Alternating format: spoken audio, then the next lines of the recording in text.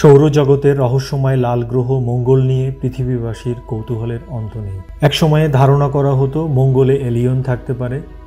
সর্বশেষ মনুষ্যবিহীন হোপ মহাকাশ যান উৎক্ষেপণের মাধ্যমে অতি সম্প্রতি প্রথম আরব দেশ হিসেবে সংযুক্ত আরব আমিরাত তার মঙ্গল অভিযান শুরু করেছে।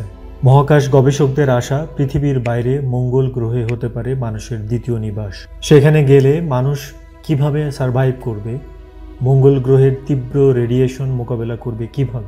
মঙ্গল গ্রহে মানুষ যেতে পারছে না। কিন্তু যদি পৃথিবীতেই এমন কিছু জায়গা খুঁজে পাওয়া যায়, যেখানে মঙ্গল গ্রহের পরিবেশ পাওয়া যাবে, তাহলে গবেষণা কাজ বেশ সহজ হয়। হ্যাঁ নাসার বিজ্ঞানীরা গত দু দশক ধরে পৃথিবী পৃষ্ঠের যে রিমোট জায়গাটিতে এই পরিবেশ খুঁজে পেয়েছেন, সেটি ডেভন আইল্যান্ড যেটাকে ডাকা যেতে পারে মার্স ওয়ান আর্থ নামে। অর্থাৎ পৃথিবী পৃষ্ঠেই মঙ্গল গ্রহ। আজ আমরা জানব মনুষ্যবিহীন পৃথিবীর সবচেয়ে এই বড় দ্বীপ ডেভন আইল্যান্ড সম্পর্কে। ডেভন আইল্যান্ডকে বলা হয় মেরুপ্রবণযুক্ত পোলার ডেজার্ট। এই দ্বীপটি কানাডার বেফিন উপসাগরে অবস্থিত। উইলিয়াম বেফিন এই দ্বীপটি ষোলোশো ষোলো সালে প্রথম খুঁজে পেলেও আঠারোশো সালের শেষ দিকে দ্বীপটির দক্ষিণ উপকূলের আরেক আবিষ্কারক পেরির দেওয়া নাম নর্থ ডেভন বদলে হয় ডেভন আইল্যান্ড। আয়তনে দ্বীপটি প্রায় ক্রোয়েশিয়ার সমান হলেও জনসংখ্যা এখানে শূন্য। পাঁচশো আঠাশ কিলোমিটার দীর্ঘ আর একশো সাতান্ন থেকে চারশো ছিয়াত্তর কিলোমিটার চওড়ায় দ্বীপটিতে বেশ কিছু ছোট ছোট পর্বতমালাও রয়েছে। এখানকার সবচেয়ে উঁচু যে জায়গা, ডেভন আইস ক্যাপ, তার উচ্চতা ছয় হাজার তিনশো ফুট। বছরের প্রায় পুরোটা সময় পঞ্চান্ন হাজার বর্গ কিলোমিটার আয়তনের এই ডেভন আইল্যান্ডের সব জায়গা, বিশেষ করে পূর্ব ভাগ পাঁচ সাতশো মিটার পুরু বরফের আস্তরে স্থায়ীভাবে ঢাকা থাকে। কেবল খুব অল্প কিছু দিনের জন্য এখানকার তাপমাত্রা দশ ডিগ্রি সেলসিয়াস অতিক্রম করতে পারে। সেই সময়টাতে প্রায় চল্লিশ থেকে পঞ্চান্ন দিনের মতো দ্বীপটি তখন বরফমুক্ত হয়। এখানকার শীত খুবই তীব্র, অসহনীয়। শীতের সময় তাপমাত্রা কমতে কমতে মাইনাস পঞ্চাশ ডিগ্রি সেলসিয়াসে পৌঁছায়। তুলনামূলকভাবে উঁচুতে এবং চরম উত্তর অক্ষাংশের অবস্থানজনিত কারণে এটি মনুষ্য বসবাস অযোগ্য।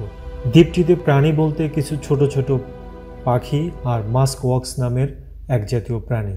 এই দ্বীপের যে ভৌগোলিক বৈশিষ্ট্যের কারণে দ্বীপটিকে মার্স ওয়ান আর্থ বলা হয়, সেটি হলো হাটন ক্রেটার বিশ কিলোমিটার ব্যাসের এই বিশাল গর্তটি দুই কিলোমিটার ব্যাসের এক উল্কাপিণ্ডের পতনের ফলে দ্বীপটির একসময়ের বন ধ্বংসের মাধ্যমে তৈরি হয়েছে বলে ধারণা করা হয়।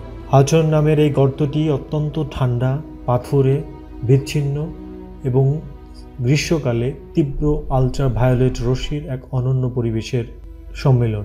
গর্তের ফ্রিজিং টেম্পারেচারের কারণে এত বছর পরেও এই হাটন ক্যারেটের এর সেই শুরুর পরিবেশ আজও বজায় আছে। আর এসব বৈশিষ্ট্যের সাথে মঙ্গল গ্রহের পরিবেশের অনেক মিল থাকার কারণে দেভন দ্বীপের এই হাটন গর্তকে মনে করা হয় মার্স বা মঙ্গল গ্রহের অনুরূপ। এই জন্য পৃথিবীর ভিতরেই আউট অফ দ্য ওয়ার্ল্ড এক কথায় বলা যায়, ডেভন আইল্যান্ডটি কানাডার স্থলভাগ থেকে বিচ্ছিন্ন, বরফাচ্ছাদিত, পর্বতমালার বৈশিষ্ট্যমণ্ডিত তীব্র আলট্রাভায়োলেট রশ্মিতে প্লাবিত একখণ্ড নিষ্ফলা ভূখণ্ড। কিন্তু তবু মহাকাশ গবেষকদের কাছে এটি একটি চমৎকার জায়গা। এর বৈরী আবহাওয়া এবং ডেজার্ট সেটিং মঙ্গল গ্রহের গবেষণার এক উপযুক্ত পরিবেশ তৈরি করেছে।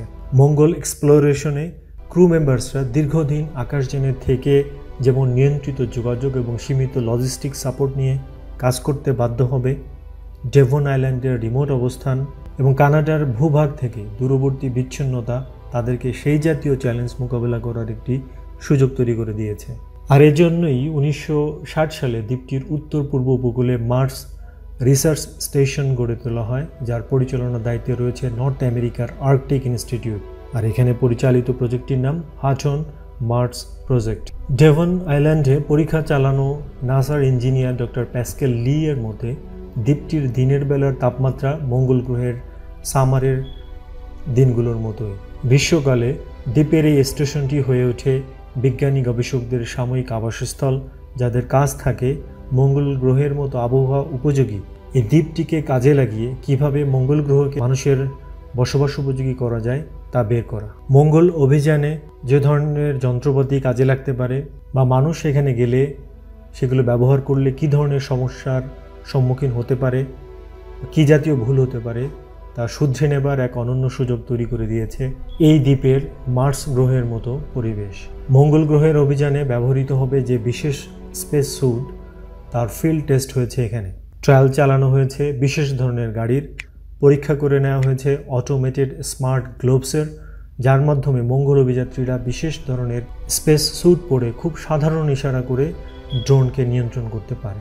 দু হাজার উনিশ সালের মার্চের দিকে গুগল এই দ্বীপটির স্ট্রিট ভিউ প্রকাশ করে, যদিও সেখানে যাবার জন্য তাতে কোনো রাস্তা দেখানো হয়নি। মহাকাশ অভিযানে গেলে সাথে করে মহাকাশ যাত্রীদের যে সমস্ত দৈনন্দিন প্রয়োজনীয় জিনিস সাথে করে নিতে হয়, ঠিক তেমনটি সত্য এই ডেভন আইল্যান্ডের বেলায়।